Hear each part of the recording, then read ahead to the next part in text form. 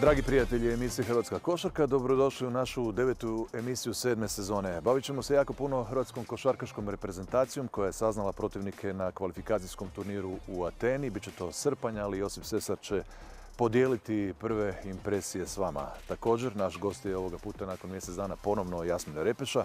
Otvaramo nove teme, dinamiku koju smo na neki način počeli prije mjesec dana i želimo vidjeti kako se kreće cijeli taj proces u kojem Repeša sudjeluje.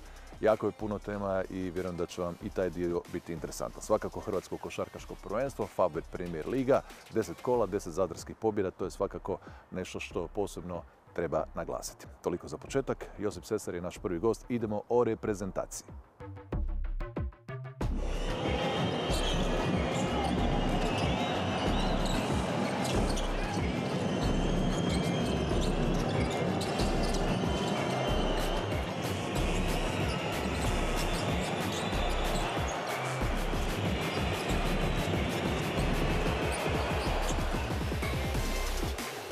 Svi su rekli da je ovo najteža, najteža skupina i, i kad pogledaš igrače koji, koji će tamo nastupiti, odnosno ako budu zdravi jeli, u tom, i ako se svi odazovu, sigurno da, da će biti najkvalitet, najkvalitetnija ovaj, skupina i najjača. E, što se nas tiče, e, mi idemo korak po korak, mi smo imali prošlo radno ljeto jako dobro, jako uspješno i rezultatski, međutim mene u više od tog samog rezultata veseli atmosfera koja je, kojom se to sve završila, što je normalno usko vezano i uz, i uz taj rezultat ovaj, koji, smo, koji smo napravili. E, na taj turnir, e, gledajući znači, momčadi koje, koje jesu, sigurno da idemo kao neke onako dark horse ili, ili, ili ne idemo baš u statusu favorita.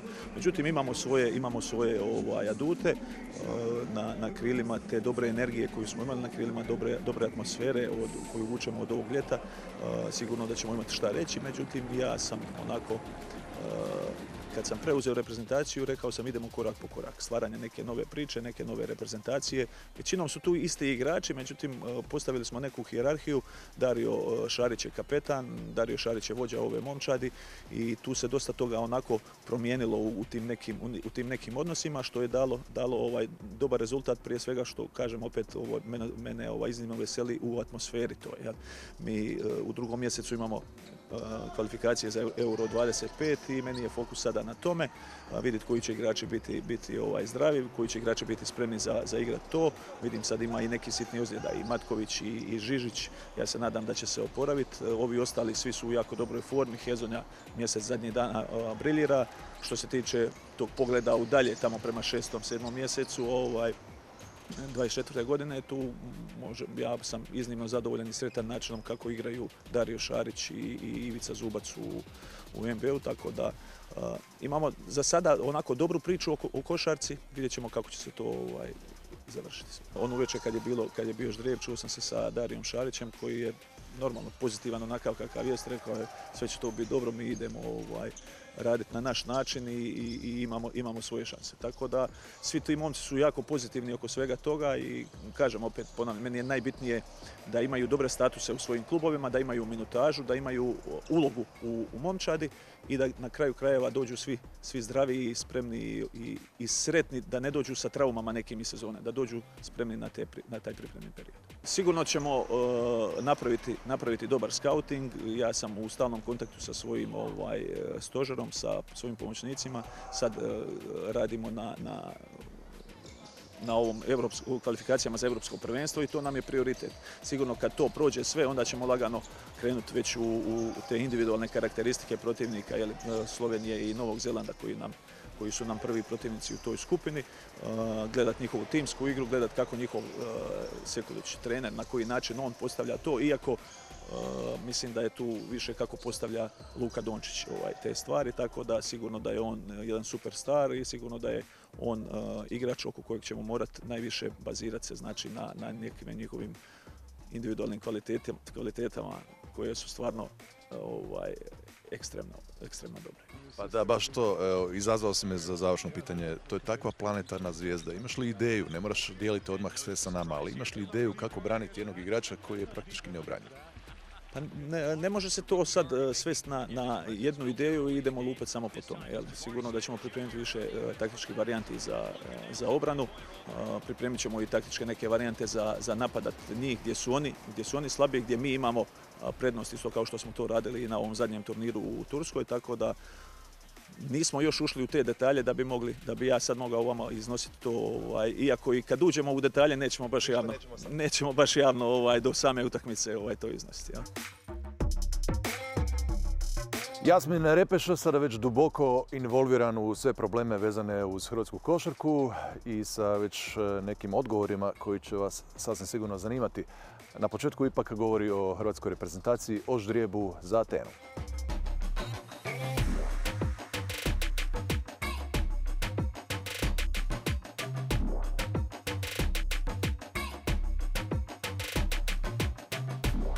Sigurno da ima stvari koje su puno važnije, prije svega te utakmice protiv Francuske i Cipra koje su u veljači. Međutim, e, s obzirom da je nešto što je aktualno bilo, bio žrijep u, Švicarskoj za kvalifikacije za olimpijske igre e, i znamo da e, doći na olimpijske igre imamo protivnike koji su zaista izuzetno kvalitetni što se može reći, nema tu puno dileme, puno priče. Znači, treba biti bolji nego drugi u datom momentu, od drugi do sedmi, da se pojavimo prije svega sa najvećom dozom samopouzdanja, da, da odemo u Atenu sa, svi sa istom idejom da to možemo da napravimo, da se dobro pripremimo i na taktičkom planu, da prije svega dođu svi da budu zdravi, i da mentalno budemo na razini najvećoj mogućoj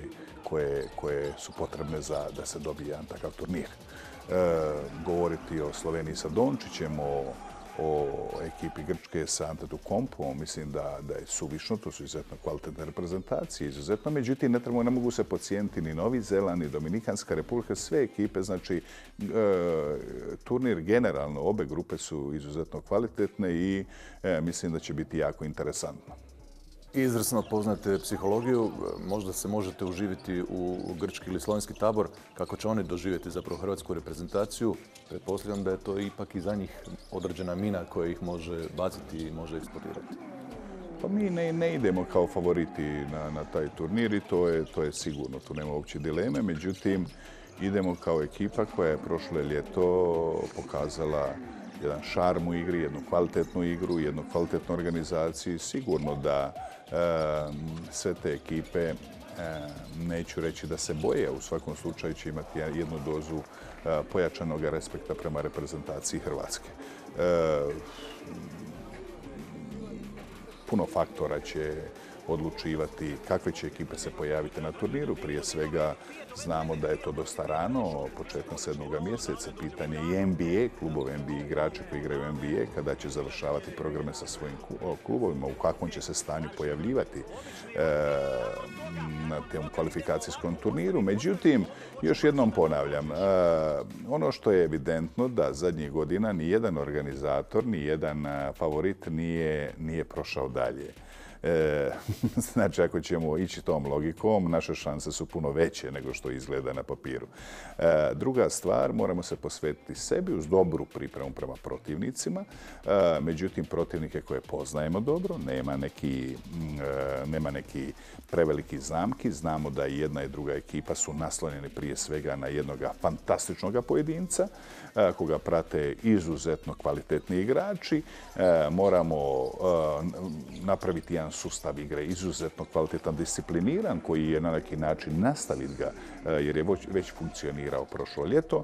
I ono što još jednom ponavlja je taj turnirski način takmičenja u vrlo malo vremena, igrati sa tako kvalitetnim protivnicima E, moramo imati mentalnu pripremu na najvećoj mogućoj razini, jer tu će biti, e, tu će biti i uspona i padova i teško je očekivati protiv takvih protivnika da se igra svi 40 minuta na razini koju bi htjeli da imamo.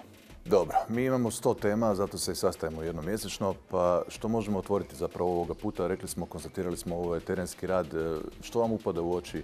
S čime se borite ovih dana?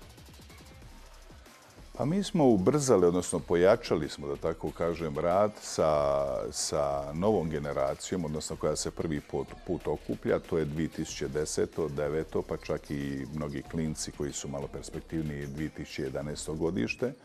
To smo imali cijeli deseti mjesec, nastavili smo u 11. mjesecu, imali smo okupljanje 27. ovoga mjeseca, znači prije dva dana u, prije dva dana u Zadru za Zapad i za e, Dalmaciju. Imali smo juče u Zagrebu za sjever istok i za Zagrebačku regiju. Ne bi nazvao to nekom drugom selekcijom, ali u svakom slučaju gdje su bili neki klinci koji nisu bili na prvom okupljanju. E, I mislim da je to zašto, još jednom ponavljam što sam zadnji put rekao, htio bi da ovi najmlađi dobiju najbolje programe koji postoje iz razloga da njihov startni razvoj krene kako treba na svakome nivou i da budu praćeni kako treba sa svim najkvalitetnijim programima koje struka u Hrvatskoj može da napravi na svim nivoima i na podizanju vještina i na podizanju tjelesnih sposobnosti, a i da dobiju na neki način ne samo kvalitetan trenažni proces na određeni broj utakmica. Recimo, mi ćemo imati e, ponovo sada njihovo okupljanje malo duže. To je e, između e, od prvi 1. siječnja do 6. siječnja gdje ćemo imati e, malo više vremena da budu zajedno i već smo organizirali dvije utakmice protiv selekcije Mađarske. Znači to je za selekciju koja se okuplja prvi put u 16 stvara se nova selekcija i ovaj mislim da je napravljeno dosta da se ne propusti na bilo koji, koje dijete sa jedne strane, a sa druge strane da svake, svako to dijete dobije najkvalitetniji program koji može da, da dobije gdje pomoć Saveza je zaista, zaista na, na visokoj, visokoj razini. Da, teknici su imali malo utakmica do sada sa nekim stranim reprezentacijama. Možda je to dio koji na neki način treba podizati. Kako vi to gledate? Treba, treba. Mi, mi trebamo se otvoriti, moramo izaći, moramo igrati, moramo igrati sa kvalitetnijim od sebe. Ja jednostavno to je jedini pravi put. Ne treba se boriti poraza. E, e, naše juniorsko prvenstvo je tek, tek što je počelo. Počelo je prije neka dva tjedna. E, bio je čak i taj regionalni turnir ABA lige u, u, u Laktašima gdje su bili Split i Cibona i igrali, igrali su utakmice. Cibona je završila kao, prva, međutim objektivno ja mislim da sve to skupa može i mora biti bolje. E, identično Split, e, razgovarao sam i sa trenerima, nije najzadovoljniji kako je sve to izgledalo i kadeti su imali turnir e, u Podgorici, međutim, nažalost, puno i se vratilo bolesno sa toga turnira i iz Splita i Šibenika, tako da pokušavamo da dobiju broj kvalitetnih utakmica, međutim mora se, mora se jednostavno insistirati da ti programi i trenažni programi i takmičarski programi daju toj djeci sve ono što je potrebno da bi, da bi imali taj razvoj optimalni, da tako kažemo, u okviru mogućnosti koje možemo mi u Hrvatskoj da, da, da, da im omogućimo. Sjećam se ranije, govorilo se o eventualnoj suradnji možda sa litavcima. Jesu li vam oni atraktivni kao neka totalna silna energija i kao neka ukalupljenost u kojoj zapravo stoje svi od onih najmlađih pa do A reprezentacije? Pa Litavci su, ja uporno govorim primjer, jedan model koji mi moramo slijediti. Jer i oni su mala država, odnosno mala baza kao što smo mi mala baza. Međutim, i male baze, ukoliko su dobro organizirane, ukoliko naprave, e, ukoliko daju svoj maksimum, sigurno će imati proizvodnju dovoljnu da se popune nacionalne selekcije i da se dobiju kvalitetni igrači. E, to je nešto što što jesam zagovarao i pričao puno ovo ljeto, jer litvanske reprezentacije i, i, vrlo malo je naći igrača u svim selekcijama da nisu dobri šuteri, da ne igraju brzo, e, da nisu dobri dodavači, da nisu obučeni, da tako kažem, na svim nivoima i tjelesno, ali prije svega na tim, e, na, na, na tim vještinama koje zaista, zaista e, su jedan primjer da se sa puno radom i dobrom organizacijom može napraviti i kada baza nije najveća. Znači, atraktivna priča, moguća neka budućnost i suradnja? Suradnja sa svima onima, sa svima, sa svima, čak i sa našim susjedima, e, sa svima onima gdje može pomoći da naši programi rastu, odnosno naša djeca budu bolje. U malo minuta još jedna tema koja mi je interesantna. Malo smo pričali e, o Dinamu. Ne toliko u smislu rezultata, već u smislu menadžmenta. Jer u prošloj našoj emisiji govorili ste kako je to strahovito važno.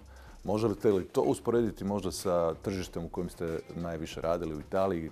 E, ta neka sprega kapitala i sporta. Pa mi moramo znati dok, e, dok kako se zove zakon o sportu ne, ne uđe puno dublje u, u, u, sport, puno, puno ozbiljnije da, da klubovi, odnosno svi smo e, na, na jednostavno u toj situaciji da, da, se moramo dati sve od sebe da e, svatko od nas da svoj doprinos. Struka u struci, menadžment na planu kreiranja organizacije, na, na, na, na e, planu kreiranja budžeta za, naredne godine, e, na, na planu kreiranja politike kluba. Znači, puno je stvari koje se mogu napraviti sa manjim budžetom. Sigurno da bi bili sretni da Zakon o sportu omogućuje da je učešće države puno, puno jače, odnosno puno kvalitetnije nego što je u ovome momentu. Međutim, e, opet kažem, e, nema predaje, treba se raditi treba svaki dan iskoristiti da bude bolje, da svak doprinos koji može, koji može da da. Mene osobno je radovalo kako bio sam na dvi, tri, na nekoliko utakmica e, Dinama, da njihov menadžment što se tiče organizacije same utakmice, znači zaista funkcionira kako treba. Ja osobno e, sam, e, sam rekao e, svom suradniku, izborniku Sesaru, koji je trener Tabo, da bi volio da, vidim i na sportskom planu, odnosno sportskom programu, neki, neki kvalitetan prospekt u Rostaru, koji bi zajedno, rastao sa klubom. Evo recimo jedan moment koji može biti sutra bolji. Nije to moja sad ovdje da držim predavanje klubovima, ali, ali, imam pravo da, ali imam pravo da sugeriram i da kažem, s obzirom da sam čovjek sa ogromnim iskustvom. E, e, tako da, da još jednom, e, programi koji rade su zaista programi koji hoće da dovuku prije svega prije svega obitelj na košarkašku utakmicu, a to je nešto što je košarkaška utakmica, jer obitelj je košarkaška, e, e, košarkaška publika. E, I to je nešto što mi se svidjelo i, u svakom slučaju mislim da su na dobrom putu. Ne sviđa mi se izgovori ne sviđa mi se kada se plače, nema se, ne može se. Mislim da i u teškim vremenima, bez obzira koliko ona bila teška i za sport i za košarku, da se uvijek može nešto napraviti ukoliko se radi, ukoliko se ima ideja, ukoliko ljudi koji vode menadžment kluba imaju ideju da, da naprave nešto što, što će e, biti u funkciju progresa kluba. Pa i na tragu jedne propuštene šanse. Cervita je ovdje bila i nudila jako puno. Vi ste bili i dio toga projekta. Svakako nude i sada kroz Cervitu juniora, ali bilo je tu puno više novca. Otišli su prema Ljubljani. Istina, to je, zaista mi je žao. Mislim da e, mogu slobodno reći opravdavam s obzirom da nisu naišli na plodno tlo u gradu Zagrebu, da, e, da e, taj program, odnosno projekt e, ima, ima dalji tijek razvojni i opredijelili se za jedan drugi program, odnosno je dobrim dijelom i poslovnu politiku koja je odvela na drugu stranu. To u svakom slučaju za hrvatsku košarku kao i davanje prava Cibone Crvenoj zvezdi kada je izborila učešće u, u Europskoj lizi.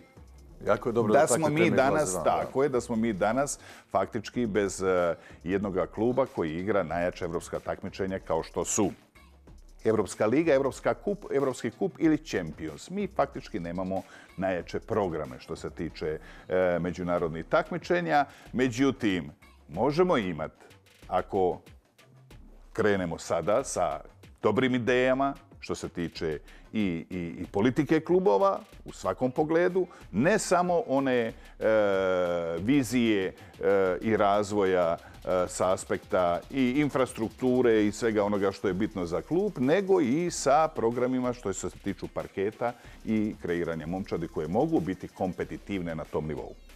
Odlično, čini mi se da otvaramo teme e, sve više i više i kvalitetnije ono što ljude zapravo i zanima. Završno pitanje u ovom našem razgovoru vezano je uz ono što vas trenutačno najviše zanima ili što vas najviše kopka, što najviše želite promijeniti. Ajmo to reći za kraj.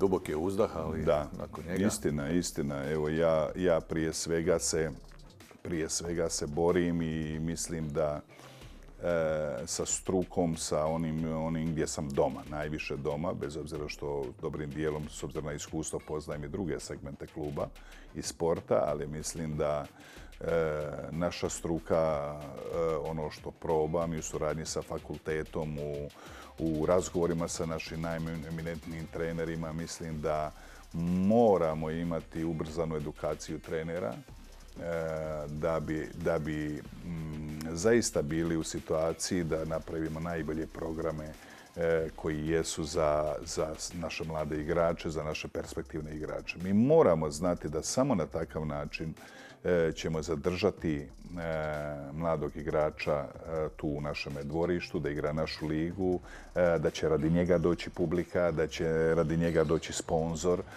Samo na takav način ako budemo imali prave programe, razvojne programe i u svakom pogledu i takmičarske programe. Mi smo u jednoj situaciji gdje najlakše nam je naći izgovor da roditelji vode djecu, da menadžeri vode djecu, da, da neko bježi. Niko neće pobjeći ukoliko ponudimo nešto što je najbolje za svako dijete. To je, to je evidentno. Pođimo od sebe koji jesmo roditelji, znači ukoliko imamo najbolji program za svoje dijete u svom dvorištu, najljepša je stvar da dijete raste blizu nas. Međutim, ukoliko nemamo takav, onda nemamo pravo da krivimo druge da je, da je dijete otišlo nešto vanka. To se nešto nadovezuje na program i naše djece, odnosno mladi ljudi koji, se, koji su se iseli iz Hrvatske zadnje godina puno i mislim da je tu e, u piramidi i što se tiče državne politike, a specijalno sporta, jer mi, mi, smo zaduženi, pričamo o tom segmentu, da moramo, da smo u obavezi, u obavezi da napravimo jedan kadar koji je u stanju da napravi jedne takve programe koji će svu našu najkvalitetniju djecu zadržati tu. Normalno onoga momenta kada prevaziđe sredinu našu. Uvijek je, uvijek su naši najkvalitetniji. Uvijek je i Dražen je otišao u Madrid i u NBA i Toni je otišao u Benetton pa u NBA i Rađa je otišao u Rim pa u NBA i to je normalno nešto. Ali da nam djeca idu koja su faktički nakon godinu dana sa potencijalom i talentom koji imaju, to zaista nije dobro ni za koga, ali prije svega moramo okriviti sebe zato što im nismo omogućili najbolje programe. Favbet Premier Liga naša je najdraža tema koju svakoga puta poklanjamo veliku pažnju. Zadar bez poraza, Cibona 9-1, Split 8-2. To su vodeće ekipe, na dnu je također vrlo interesantno. A gledali smo i jako interesantnu utakmicu između Dinama i Zadra u kojoj je Zadar ipak na kraju pobjedio. Otvaramo sve teme, predstavljamo najkorisnije ljude do sadašnjeg dijela prvenstva, a i one koji su to ostvarili u posljednjoj dionici, dakle u desetome kolu.